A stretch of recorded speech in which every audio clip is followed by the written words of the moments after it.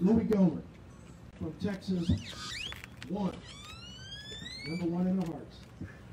Thank you, Jody. And Brian, thank you all, and thank you for being here. Um, we did see up close and personal last night. I've spent so many hours, all hours, day and night, uh, down here. Uh, last night, we also went with Texas DPS on boats down the river.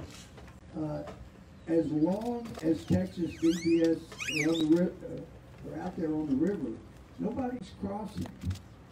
And the reason so many people do cross is because the Border Patrol, they're capable, but they're just not allowed to stop people from coming into the United States. And I hear so much garbage from people in Washington saying, oh, Republicans don't care. They're, they have no compassion.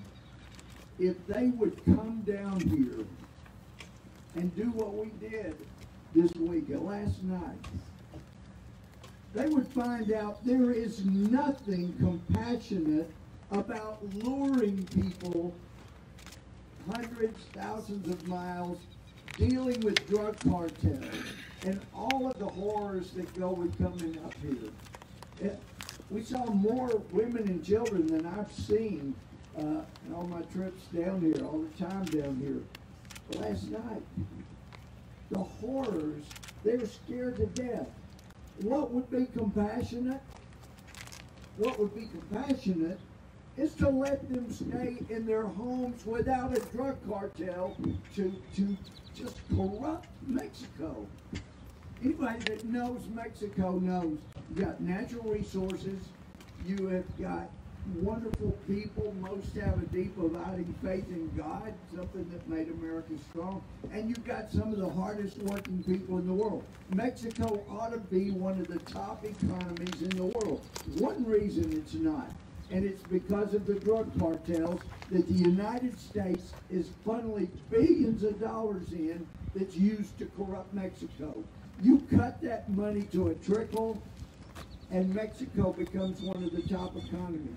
These people that are coming up here scared and being brutalized as they come, they stay home and they build better homes.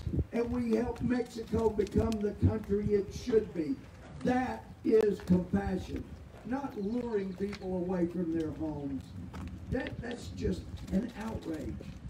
We ought to be a good neighbor, we saw it again last night. It's time to enforce the law. Now, I can't say President Biden is intentionally violating his oath. He's violating his oath, but I don't know if he even knows what he's doing intentionally. But uh, regardless, he's violating his oath, and he needs to have some compassion for the people down here. Let him come down here 1, 2 a.m. and see what's going on as a result of what he's done. We owe our neighbors better, and I am so thankful to be with these men and women from Texas. They care.